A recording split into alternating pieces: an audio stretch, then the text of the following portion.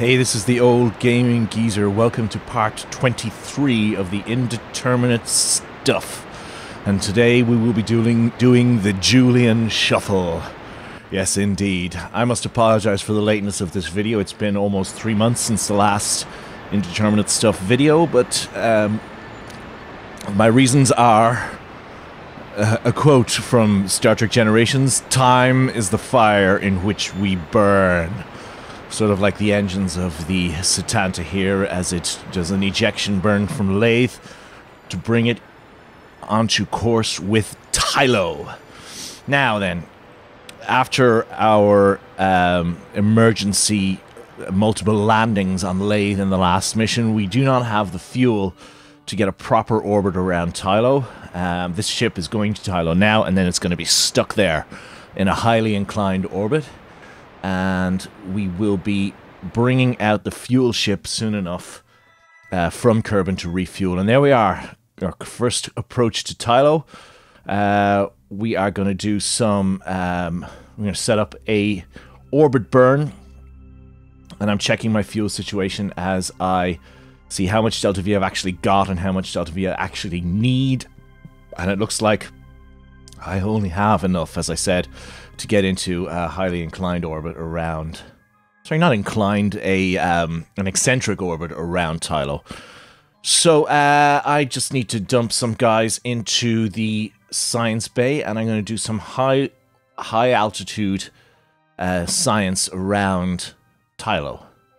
Um, I'm processing some of the experiments I've already got. Probably don't actually need to do that, but uh, because I'm planning on taking everything back from this ship, but I'm going to do it anyway. But I'm going to check everything and uh, keep as much data as I can as we do our our our experiments high in the orbit around Tylo. Now we will be coming in fairly soon. Um, so we're transmitting some data there, uh, data that we can get 100% on from um, from transmitting. But here we are coming in on Tylo now. We're going to burn to capture ourselves around Tylo. And uh, unfortunately, we're not going to land at the moment. We're going to wait until we get closer. But to do that, we need to refuel, and our uh, refuel ship will be leaving Kerbin quite soon, in fact. So here we are doing our capture burn. And as you can see, the amount of fuel that we've got is minimal. So we're going to be stuck here as we... It's quite a, a, large burn to get us down there, as you can see. But uh, we're going to get there. We're going to we're going to get into a tidal orbit. I'm saying you this because I did it before. Uh, I've closed one of the um, solar panels there just because it kind of looks better, to be honest. Um, that's the only reason why I closed one seeing as we lost one, if you remember from our earlier earlier an earlier incident. So here we are now, and we're in Tylo orbit, and we're going to prepare and move on. We're going to have a look at Tylo first and see how how we get on. And there we can see a graphical glitch in the game where we can see the sun through Jool in the background. I just want to point out that I'm still using uh, 0.24, I think, or 0.23. I think I'm still using 0.2 3.5 of Kerbal Space Program for these videos because I cannot upgrade all of the mods. Now, this is a ship you may not have seen for a long time. This is the Far Gone and Out on its way out to Eeloo with Shep bin Kerman who has died twice. Hopefully he won't die again. And we are doing a mid-course correction here. Uh, we're just taking a quick look at the ship. And we've just arrived at our alarm from the Kerbal alarm clock, and we're going to get our ship into position and do a very, very small mid-course correction to uh, get us our encounter with Eeloo, which is, as you can see, it's a couple of years away still. Uh, this is possibly the longest mission I have ever done. yeah, so we got a long way to go before we get to Eeloo. Um, as you'll see.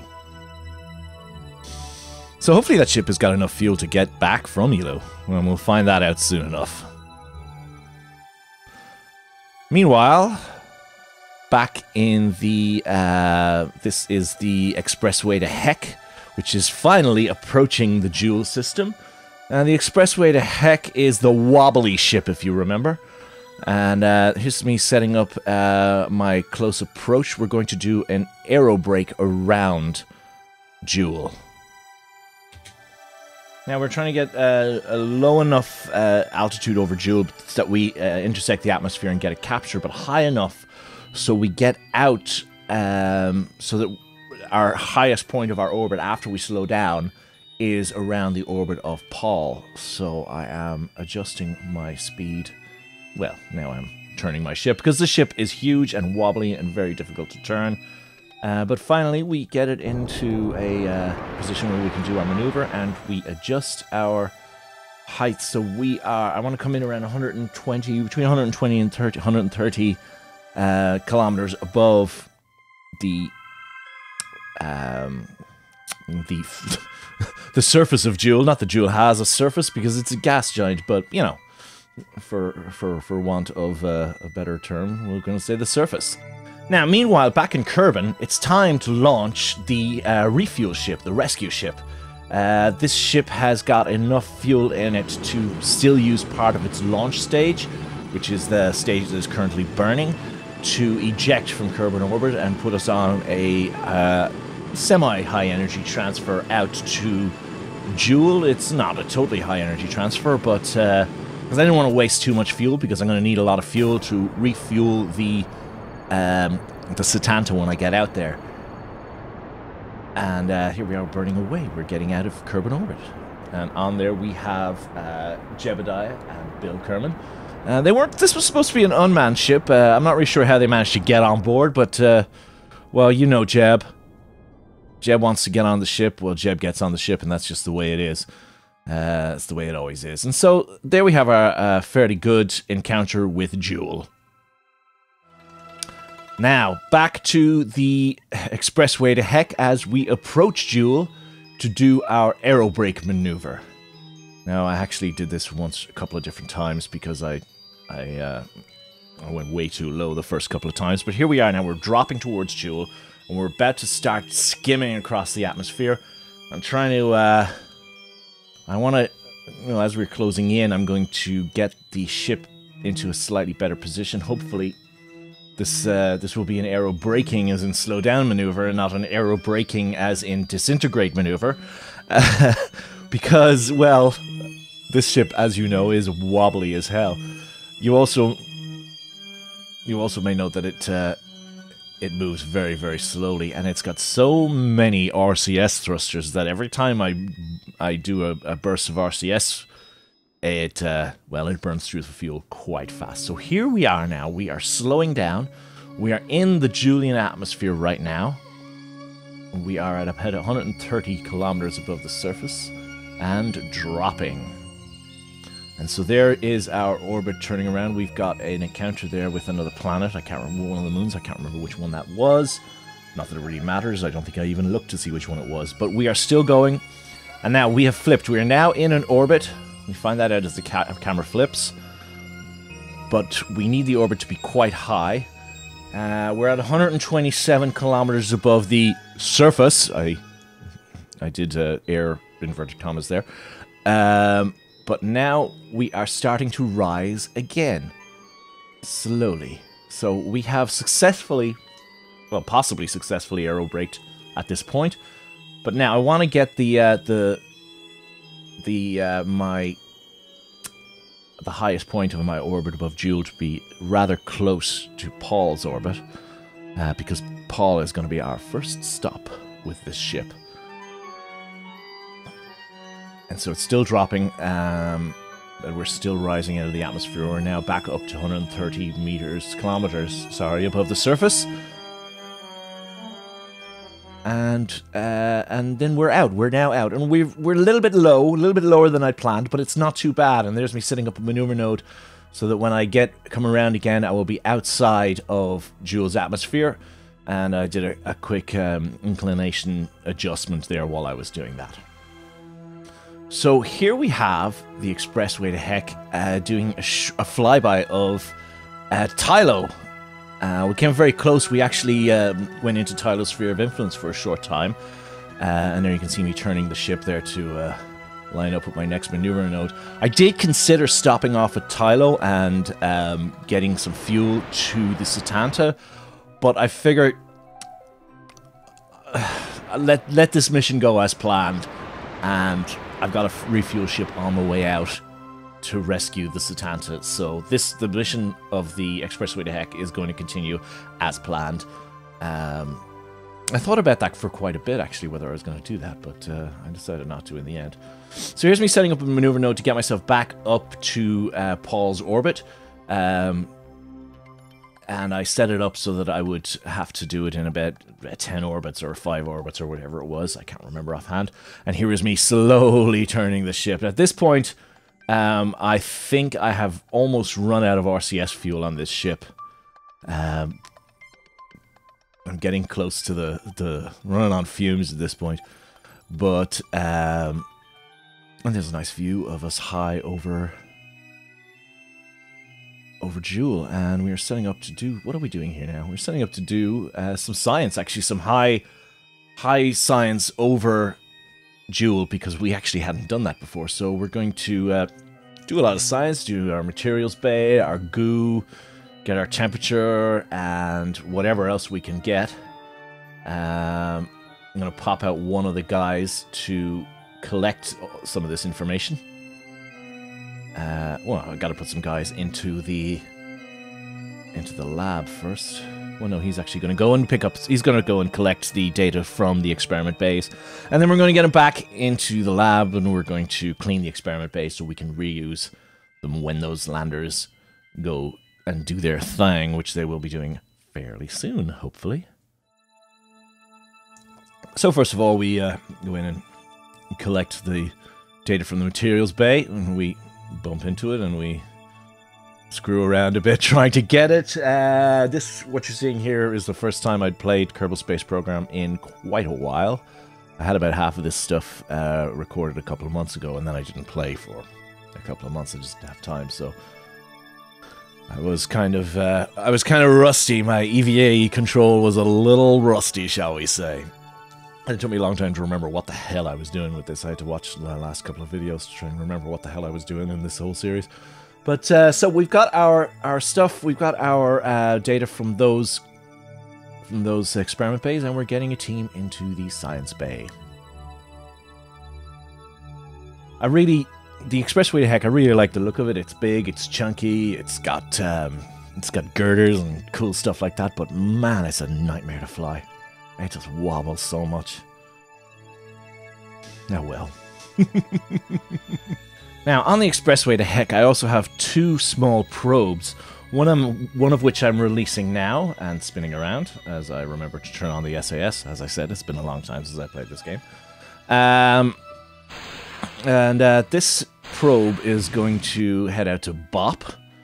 Um, because it's you know we're close to the uh, the we're close to a BOP uh, orbit up there at the highest part. Of our uh, periapsis there is quite, or sorry, our apoapsis there is quite close to a BOP orbit. So I'm going to take this opportunity to dump this probe and uh, drop it into BOP orbit. And this, and I remembered. Luckily, I'd totally forgotten, but I remembered just before um, that I needed to extend the solar panels. Otherwise, this thing would be dead. So. Uh, Thank you. Um, the spirit of Scott Manley was sitting over my shoulder there. Otherwise, oopsies. so this is, uh, as I'm going to call it, because it's going into Bop, I figure I mean, it needs a nice name like the uh, Bippity Bop Probe. So, uh, yeah, Bippity Bop Probe it is. So Bippity Bop Probe is going out to Bop. And so here's a Bippity Bop Probe doing a quick burn to raise its orbit or to get its orbit right into close to Bop. Um, no, no, that wasn't what I was doing. I was, I was think I was just getting it away from the, um, from the expressway to heck. Now, at this point, I ran into a little problem. I was trying to set maneuver nodes to get this thing into uh, the same inclination as Bop. However, it just wasn't working. I wasn't able to create a maneuver node, and I don't really know why. Uh, so I figured I'd move on and come back to it after I release the second probe. And so this is the second probe, which I will be sending out to Val. And uh, I racked my brain here for a little while. While I spun the ship around and almost smacked it into the into the expressway to heck. Uh, I was racking my brain and I couldn't honestly think of a funny, stupid um, Val name. So this thing is just called a Val probe. I'm sorry. I'm sorry if you were expecting more from me, but I am not a performing monkey. I am a monkey, but who does not perform? okay. So there I am getting a getting into a fairly close approach to Val, and with a little bit of jiggery pokery on my uh, maneuver node, I get um, into a a similar orbit to to Val, and there's me changing the name to Valprobe. Boring, I know. Valprobe it is. That's just the way it is. So now we need to get the um, to get the expressway to heck out to Pol. So here's me slowly, very, very, very, very slowly turning the ship. Because as I've said now, I've pretty much run out of RCS fuel for this thing. So, and it takes a long time to turn. So here we are burning now to raise my orbit up into the same orbit as Bop. So hopefully we can get an encounter. And uh, that's going to take some time. We're burning a lot of fuel to do so. However, this ship has got enormous amounts of fuel. Um, those two drop tanks on the sides, they're still full. Uh, the orange tank in the middle, well, it's it's not empty yet, but uh, it's getting down there. So basically, we have probably a drop tank and a third or around a quarter of fuel left, and we're going to use quite a bit of that to get out to Pol. Uh, and then we will see where we go from there. Um, hopefully, we'll be dropping the drop tanks soon. Now, we are going to be turning the ship again, and this time I figure I may as well just increase speed to 10 times normal speed. Now, normally I play my videos at 2 times normal speed, but for this, turning the ship, and I'm trying to find the maneuver node because I couldn't find it, I figured I'd, you know, just show, show my ineptitude at 10 times normal speed. So finally I find the maneuver node, and I overshoot, and I bring it back, and and the ship is wobbling like crazy and we finally get on our maneuver node and we we accelerate time to get around.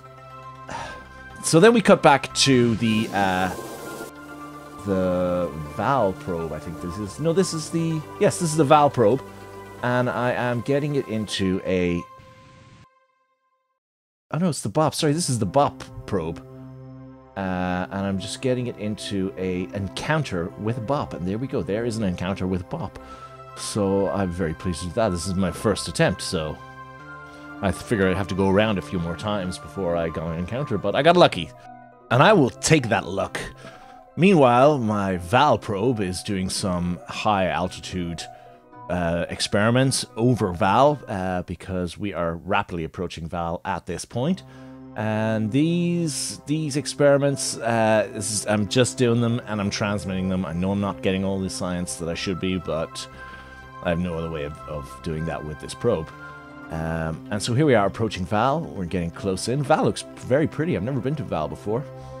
Um, I'm going to get in here and get in close over Val, and I'm going to start uh, burning my engines very, very soon. Now, at this point, uh, our our data, our our instruments on the ship begin to pick up some strange signals from the southern hemisphere of Val. We may have to investigate that at some point. Uh, it seems like there's an unusual rock formation on the southern hemisphere close to the pole. We'll have to be. When the boys back in the lab are going to have to study that data very, very closely and try and figure out what the hell they're seeing. We may have to send a ship at some point to investigate the strange signals coming from Val. But for now, this probe is doing its final experiments in Val orbit and transmitting them back to Kerbin.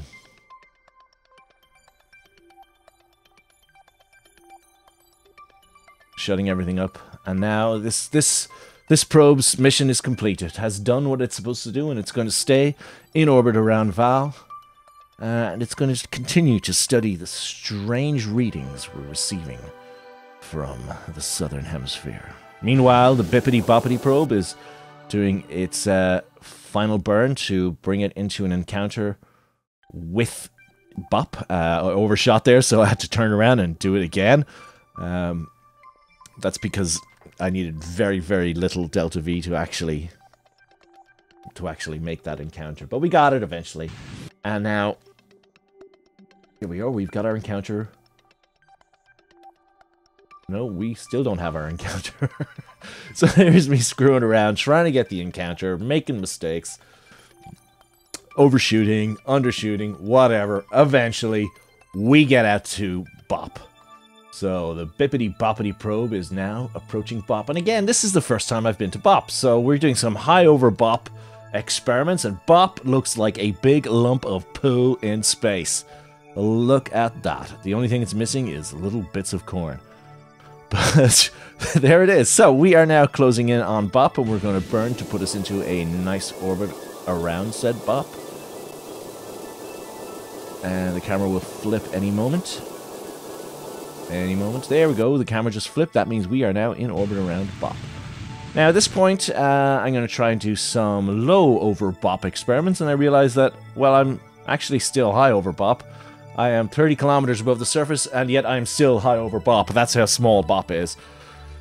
So I slow myself down a little bit, and uh, I'm going to drop down to below 25 kilometers and see will that work. And uh, here we are. We're now uh, below 25 kilometers, and I am checking Seeing we now low over bop. We are, so we do our experiments here where we're low over bop. And so the Bippity Bop has completed its mission. Meanwhile, the Expressway to Heck is doing yet another burn to bring it closer to Pol. And here we are. I believe we now have a Pol encounter, so I am checking to see who is in the uh, there. I don't know why. I do not know why. It's a couple of days ago that I recorded this video. And so, now I'm trying to get a nice little burn. You can see me slowly burning out, using a lot of fuel here to get out to, uh, out to Pol. But eventually we get an encounter. So there we have. We have our Pol encounter. There was probably ways that I could have done that and used less fuel, but that's the way I did it. Um, and that's just what the way it's got to be. So here we are, moving out, and we're about to get, we're going to cross the sphere of influence and get in close to Pol. So there we are, Pol. We're high over Pol, and that looks to me like a bran muffin. A, bra- bran muffin. Yes, it's the bran muffin planet. It's very good. It's filled with fiber, I've heard. it's great for your digestion. And so now we are approaching Pol, and we're just approaching Pol. There's a nice beauty shot of us approaching Pol. Lovely. And uh, we came in quite high, so I'm now burning at this high altitude to bring us down, as you can see. Uh, this is not the most efficient transfer, I must say, but eventually we do get into a a, uh, a Pol orbit. And there's that raisin bran or the bran muffin there. It kind of looks a little ick, to be honest. Ick. Yes, ick, that is a scientific term. There's me setting up a maneuver to circularize my orbit around the bran muffin. I mean, Pol. And there's me very, very slowly turning the ship. And while the ship was turning, I decided to pump some fuel into the central tank uh, and fill it up again because I used a lot of fuel in that. So I've emptied now one of those side tanks, and the other one I have almost emptied. So obviously I'm not going to dump the empty one because then I will have a terrible off-center thrust issue. So I'm going to hold on to both tanks at the moment. The one that's almost empty should be able to get some of the fuel out of it after I do this burn, but still it's not going to be empty. Um, but the weight the weight um, ratio is still okay. Where our center of mass is still fairly central, so we're not really losing. We're not really drifting off our course when burning with one of those tanks empty and the other almost empty. So here's me doing some um, experiments uh, low over over Pol, over the raisin bran muffin. I keep saying raisins. There's no raisins. It's just a bran muffin. That's the way it is. Yep. So we're doing experiments with everything, and we're going to send out the guys then to uh, sending one of the guys out to collect the data from those experiments because this lander is actually going down to land on Pol, and it's going down to land on Pol very, very soon. And we need a full range of experiments ready to go. So we're we've taken the the data out of those experiment bays and bringing them back to the laboratory, and then we're going to clean those experiment bays in just a few minutes, and then we're going to attempt our first landing on the moon of Pol. Here's me doing some more fuel shuffling around, and I accidentally started pumping the fuel out of the uh, orange tank, but then I remembered what I was doing. So here we are. We have our intrepid Kedbury Kerman on his way out to the Pol lander, and he will be landing today on the planet of Pol. Yes, I'm trying to remember how this bloody EVA system works, but I managed to get Kedbury around. Approaching the lander. Yes, Kedbury. And he gets in the lander. And I forgot to clean the materials bay, so I'm doing that now. Uh, or about to, yep, we're cleaning the material bays. Material bays cleaned. Let us detach. Detach the lander. I double check that I've actually got fuel in it this time. So we detach our lander, and at this point I realize this ship has absolutely no RCS, even though it has RCS thrusters all over it. Good planning on my part. Yes, the old gaming geezer's planning ahead. Definitely, definitely. So we uh, slowly maneuver away from the expressway to heck. We're pretty high, but you know, from from everything that I know, Pol is very low um, low gravity, so we do a quick burn to do a quick deorbit burn, and uh, we leave the expressway to heck behind. He didn't even wave goodbye. Oh, Cadbury, Cadbury, Cadbury, what are you doing? So, there we are. The bran muffin is below us. We are approaching the bran muffin. And it looks pretty good. It looks pretty good from up here. So Kenbury, uh, we're going to speed up time a little bit for this bit while he approaches. Well, we did speed up time. So Khemri's doing a few uh, experiments. And uh, he's going to drop down close to the surface. Now, that flat part on the uh, on the right of this on the right of my screen there, that is where I'm planning on landing. So I'm doing a slight uh, maneuver to move my uh, trajectory over more towards that. And there's our view from inside. It looks pretty... Doesn't look like a tastiest uh, bran muffin I've ever seen. So this is a pretty good landing spot, I think, and uh, we're going to uh, jump out of the ship and do a quick EVA report. is a bit of a daredevil, it seems. Yes. I wouldn't trust Canberry.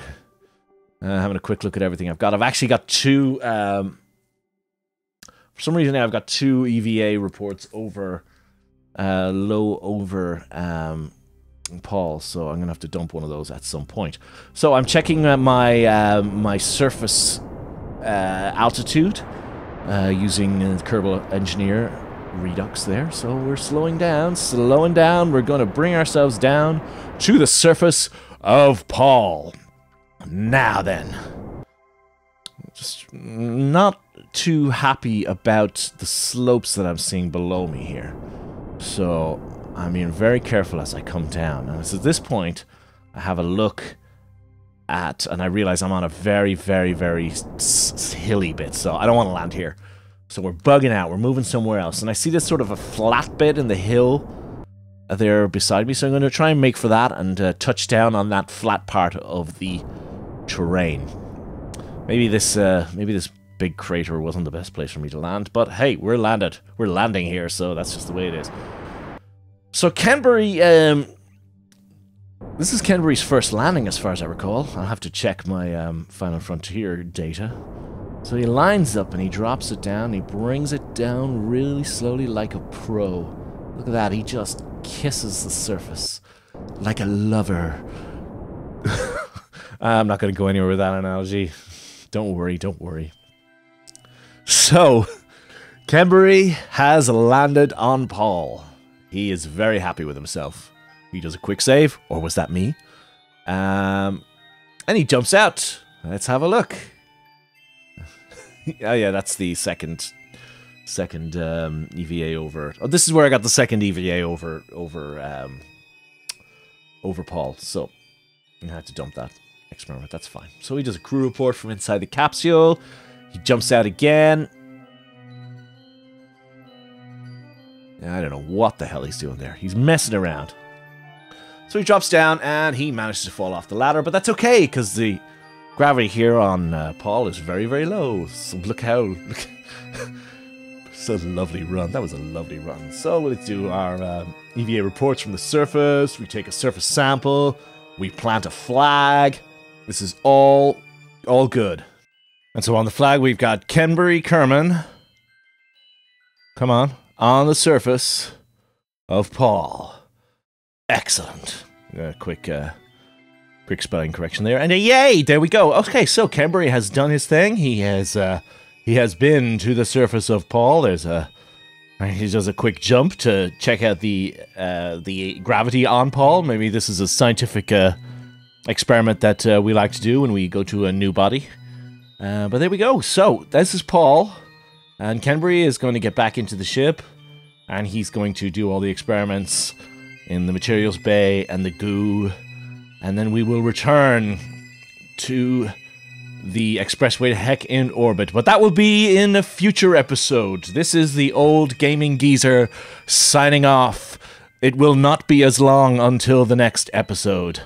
I will leave you now. Good night, farewell, Avita Zane, adieu.